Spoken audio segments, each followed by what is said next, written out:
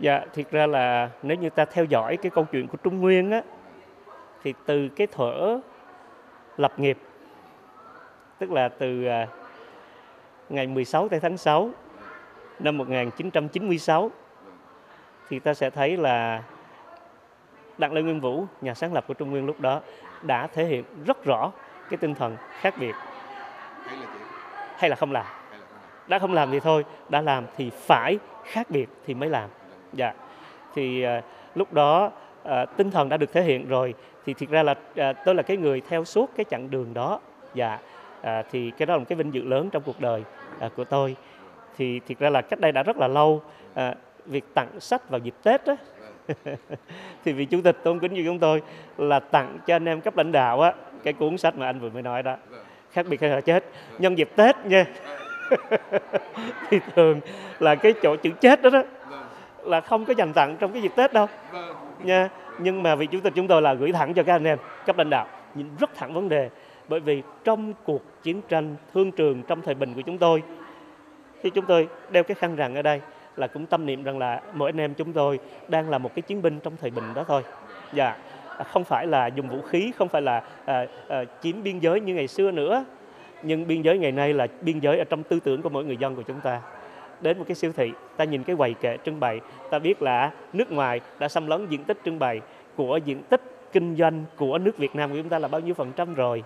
Và quan trọng nữa là trong cái mindset trong tư duy của một người dân người tiêu dùng Việt Nam của mình khi nghĩ đến thương hiệu thì họ nghĩ đến thương hiệu nào đầu tiên thì cái đó cũng thể hiện là chúng ta đang bị xâm lăng rồi.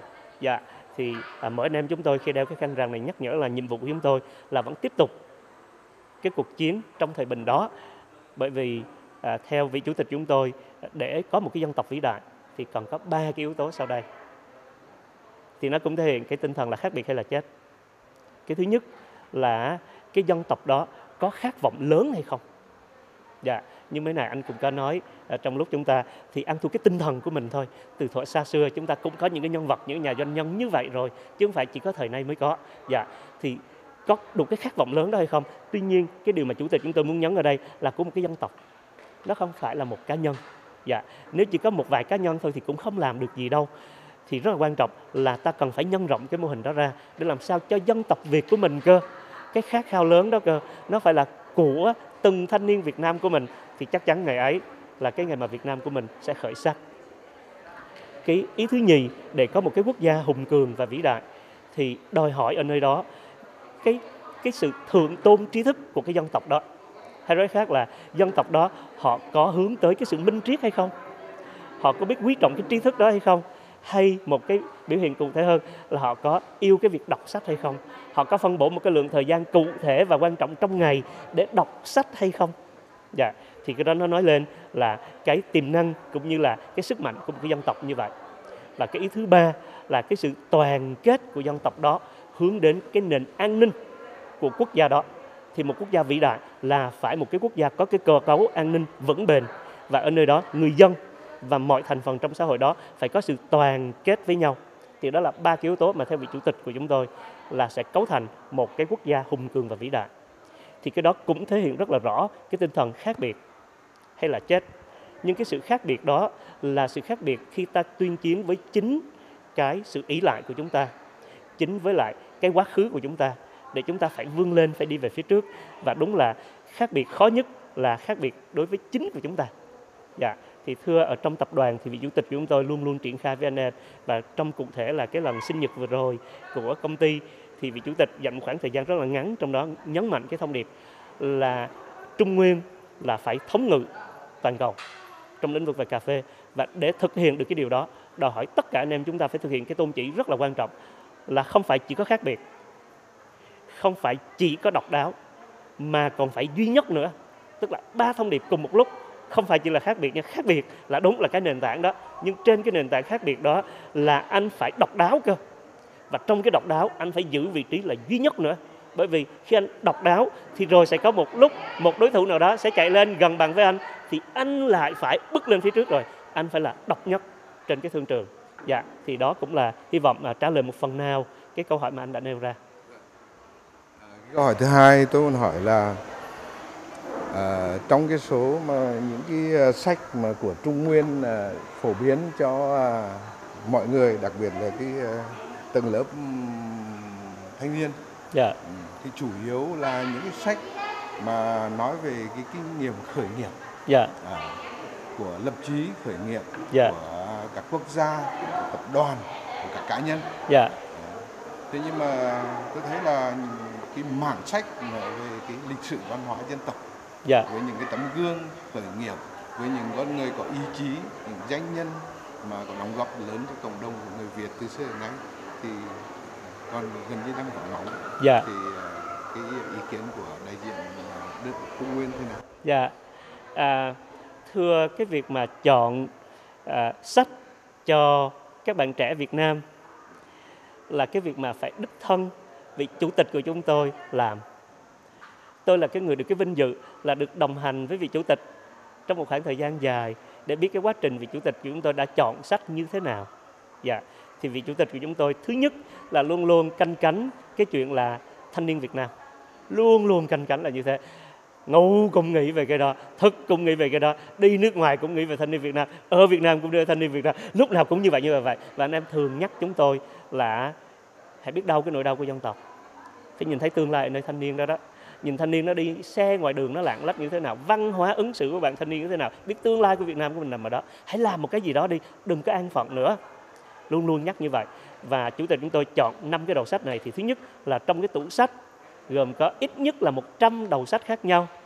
Trong 12 lĩnh vực khác nhau, gồm có từ khoa học nè, lịch sử nè, huyền học nè, cho đến đạo đức học nè, cho đến âm thanh học nè cho đến những cái vấn đề về đạo đức về xã hội và khoa học rất là chu toàn về khép kín như vậy. Thì đây là năm cuốn sách đầu tiên thôi mà. Dạ và à, tôi thì cũng biết rằng là vị chủ tịch chọn năm cuốn này là trên tinh thần lắng nghe rất là kỹ của những cái nhà tư tưởng hàng đầu của thế giới. Dạ tôi luôn luôn bên cạnh chủ tịch chúng tôi trong những cái lần trao đổi như vậy cho nên tôi hiểu được cái điều đó và là nhân chứng của điều đó. Và đương nhiên chủ tịch chúng tôi chọn năm cuốn sách này với dụng ý của ông. Mà đôi khi bản thân tôi cũng chưa thể nào hiểu được hết. Cho nên cũng không dám mạo muội mà nhận xét về năm cuốn sách đó, nhưng ghi nhận với anh rằng là chắc chắn chủ tịch chúng tôi không bao giờ bỏ qua cái yếu tố dân tộc, truyền thống, lịch sử và những tấm gương của những cái cái danh nhân, những doanh nhân của người Việt Nam của mình. Chắc chắn rồi, bởi vì chủ tịch chúng tôi nghiên cứu về những nhân vật ấy rất là kỹ ạ. à và đương nhiên chọn năm cuốn sách này cho thanh niên Việt Nam à, cũng là năm cuốn sách đầu tiên thôi mà. Và hy vọng không phải chỉ một mình chủ tịch của chúng tôi là người làm cái việc này. Hy vọng thông qua những chương trình này thì xã hội chúng ta à, không phải chỉ ở trong nước đâu hy vọng là cả thế giới cảm thấy câu chuyện Việt Nam là câu chuyện đáng để họ góp một cái sức một cái phần nào đó từ trái tim thôi mà. Thì chắc chắn là những cái cuốn sách hay sẽ tiếp tục được chọn lọc sẽ tiếp tục được bình giá. Giá như một lúc nào đó có một cái diễn đàn để chúng ta cùng chung tay chọn lọc những cuốn sách hay cho thanh niên Việt Nam thì tôi nghĩ nó ý nghĩa vô cùng. Đừng có để chúng tôi cứ một mình làm như thế này mãi. Độc nhất độc đáo là như vậy. Làm sao một lúc nào đó chuyện này là chuyện của cả nước của chúng ta thì sẽ tuyệt vời thì cũng nhân cái chương trình này. Kính mong có nhiều nhà hảo tâm có nhiều cảm nhận được từ cái trái tim của chương trình này cùng chung tay góp sức thì ý nghĩa của nó sẽ lan tỏa và đó mới là cái tinh thần của chương trình này. Và câu hỏi cuối cùng dạ. thì uh, xin hỏi là lúc này uh, anh cũng còn là nhắc đến tức là cái biểu tượng khăn rằn dạ. Vâng. À, như là biểu tượng của một cái cuộc chiến từ thời chiến tinh thần quyết liệt của dân tộc Việt Nam dạ. à, đánh giặc cứu nước dạ. bây giờ chuyển sang thời bình dạ. thế nhưng mà hiện nay thì như thấy là là từ hình ảnh đến trang sự phục mà giới thiệu đây thì là khăn rằn trở thành gần như là đây là cái biểu tượng của Trung Nguyên. Dạ. Thì xin anh cho biết thêm về cái ý nghĩa những ý nghĩa khác của cái biểu tượng khăn rằn này tại sao chủ tịch uh, trung tập đoàn Trung Nguyên để lấy chọn khăn rằn làm biểu tượng? Dạ thì cái ý nghĩa thì cũng dung dị thôi ạ. À. Như tôi vừa mới nói là đeo cái này chúng tôi nhắc nhở lẫn nhau. À, thiệt ra có một câu chuyện à, kín hơn một tí xíu nữa là có một lần đại tướng võ nguyên giáp đã có gặp gỡ và nhắn nhủ với vị chủ tịch của chúng tôi là thế hệ của các bác là lo dựng nước và giữ nước. Nay thời bình rồi đó, thì bác muốn những người như vũ phải tiếp tục cái cuộc chiến này. Cuộc chiến chúng ta không dừng lại ở chỗ biên giới đâu. Cuộc chiến chúng ta là ở trong nền kinh tế, ở trong văn hóa, trong xã hội. Và rất mong muốn những người doanh nhân như vụ ở đây hãy tiếp tục cái ngọn cờ đó vì quốc gia, vì dân tộc. Thì đó là cái câu chuyện mà tôi tình cờ được biết là có cái cuộc nhắn nhủ đó của đại tướng võ nguyên giáp cho vị chủ tịch của chúng tôi. Và cái này cũng chỉ là một trong những cái việc làm cụ thể thôi mà. Thì vị chủ tịch chúng tôi, thiệt ra có những chương trình rất là hay để gửi gắm với cấp lãnh đạo của các anh em, là có những cái nhắc nhở nho nhỏ thôi, là ý thức cái điều đó, là chúng ta vẫn vì quốc gia, đại sự để làm những công việc thường ngày của mình đó thôi. Thì cái đó cũng là một cái ý nghĩa của cái việc mà chúng ta nói là là khởi nghiệp mà kiến quốc. Từ những việc nho nhỏ chúng ta làm thôi, nhưng với cái suy nghĩ đến quốc gia, đại sự thì cái việc làm nhỏ đó nó mang ý nghĩa hơn thôi mà. Dạ. Dạ cảm xin cảm ơn dạ. Dạ, dạ. Ờ, dạ thưa tôi là Trần Hữu Đức tôi là trợ lý của chủ tịch hội đồng quản trị